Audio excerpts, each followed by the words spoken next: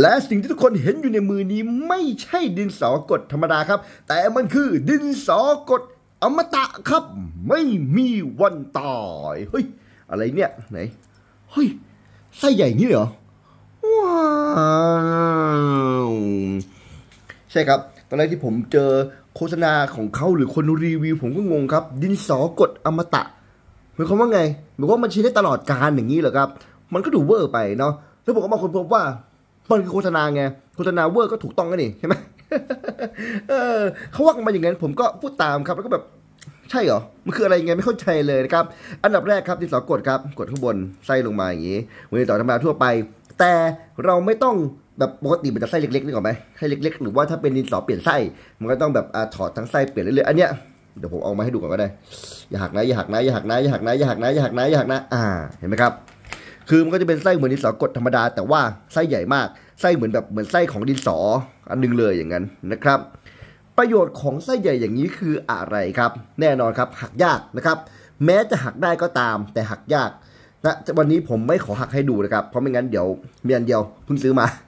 ซื้อมาจากร้านย่สิบาทนะครับ อันนี้แค่สิบาทเท่านั้นถูกลงแล้วเมื่อก่อนขายในตามแอปขายของต่างๆ หลายสิบบาทอยู่นะครับ ตอนนี้เหลือทุกอย่างสิบาทแล้วนะครับ เอาใหม่ใส่กลับไปใหม่นะครับ แล้วก็กดออกมา ออกมา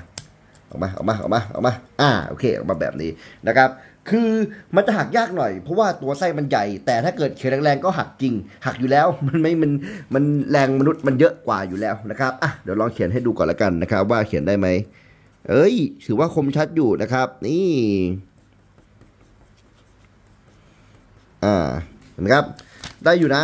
ก็ถือว่าเขียนอะไรได้คมชัดอยู่นะครับ ทีนี้ครับมันอมตะอย่างไร ความลับอยู่ที่ข้างบนนี้ เดี๋ยวผมขอลองทำให้ดูก่อน อันนี้คือตรงหัวเพื่อนๆดูนะครับ ตรงหัวนี่ มันก็ยังแหลมเปียบอยู่เห็นไหมครับ อันนี้นี่ยังแหลมอยู่เห็นไหมครับอ่าเดี๋ยวผมขอฝนให้มันหายแหลมก่อนเลย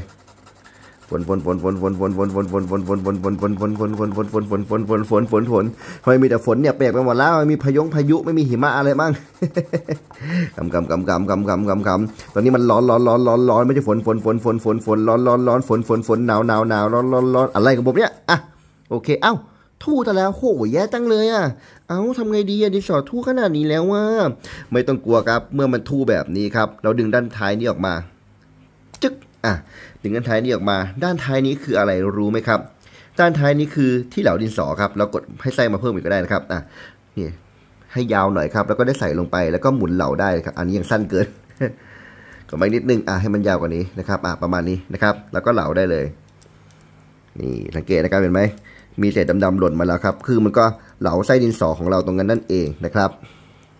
คือตรงเนี้ยมันจะเหลาถ้าแบบเราเบาๆอย่างเงี้ยมันก็ไม่ค่อยเข้าเห็นไหมครับ เราต้อง เหลาแล้วก็กดลงไปด้วยนะครับ กดลงไปกดลงไป กดลงไปกดลงไป มันจะแหลมลงไปข้างล่างครับ ถ้าเกิดเรากดลงไปเยอะๆหน่อยนะครับโอเค ประมาณนี้เห็นไหมครับ อ่านี่นี่เห็นไหมก็กลับมาแหลมใช้งานได้แล้วนะครับเห็นไหมครับ นี่แหละนะน่าจะเป็นที่มาของคำว่าดินสออมตะนะครับ ก็คือพอจะบดแล้วมันก็เหลาใหม่อยู่ดีนะครับ ผมก็สงสัยว่า มันแตกต่างกับดินสอธรรมดาอย่างไร มันเหมือนกับดินสอธรรมดาแค่เพิ่มลูกเล่นมากดได้อย่างนั้นเหรอ ไม่ใช่เลยครับ ข้อดีของแบบนี้ก็คือมันสามารถเก็บได้ง่าย เมื่อเราใช้เสร็จเขียนเสร็จปุ๊บเรากดเก็บกลับเข้าไปปุ๊บมันก็ลดความเสี่ยงที่ดินสอจะหักได้ใช่ไหมครับ ถ้าเป็นดินสอไม้ธรรมดาเนี่ยอะเราวางไว้เฉยๆบางทีแบบ พกไปไหนหรือว่าหล่นอะไรเงี้ยตรงไส้ตรงนี้มันมีโอกาสหักสูงถูกไหมครับ แต่ถ้าแบบเนี้ยมันเก็บเข้าไปอยู่ข้างในตัวปากกาของเราตัวดินสอดิตัวตัวพลาสติกตรงนี้นะครับ มันก็จะโอกาสหักน้อยกว่านั่นเองก็จะใช้งานได้นานมากขึ้นนะครับอ่านี่แหละก็เป็นนวัตกรรมใหม่ เอาจริงนะ ส่วนตัวผมมองว่ามันคือการรวมร่างกันระหว่างดินสอธรรมดากับดินสอกดดินสอเปลี่ยนไส้โอ้จริงๆทุกอันเลยนะดินสอธรรมดาเป็นดินสอกดละกันนะมันเป็นการรวมร่างกันของสองอย่างนี้นะครับถ้าไม่เป็นเหมือน ดินสอกดแต่ว่าไส้ใหญ่เหมือนดินสอธรรมดา แล้วก็ต้องใช้การเหลาเหมือนดินสอธรรมดาประมาณนั้นนะครับอ่าเห็นนะเจ้าหน้าถือเป็นอีกหนึ่งนวัตกรรมที่ทำออกมาได้อย่างตอบโจทย์นะครับและที่สำคัญก็คือทุกวันนี้มันมาราคาถูกแล้วบางทีผมบอกไปตัวนี้ผมซื้อมาร้านทุกอย่าง 10 บาทเองอะถ้าเกิดว่า 10 บาทผมก็ใช้ได้นะครับมันอาจจะแพงกว่าดินสอดินสอปกติทุกวันนี้อ่าแต่มันก็อยู่ที่เกรดด้วยแหละ บางคนจะบอกว่าสิบาท ซื้อดินสอธรรมดา HB เนี่ยโว้ได้ห้าแท่งสิบแท่งเลยด้วยซ้ำก็มี แต่ว่าก็เกรดบางทีพวกนั้นบางทีอ่ามันจะจางๆหน่อย อันนี้ดูดิไม่น่าเกลียดเลยนะ ถือว่าแบบ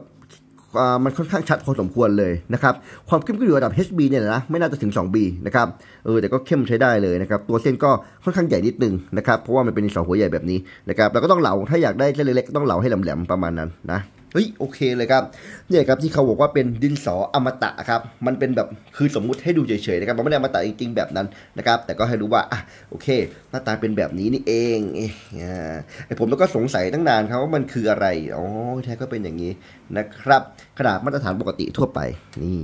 แจ๋วฮ่าฮ่าอ่า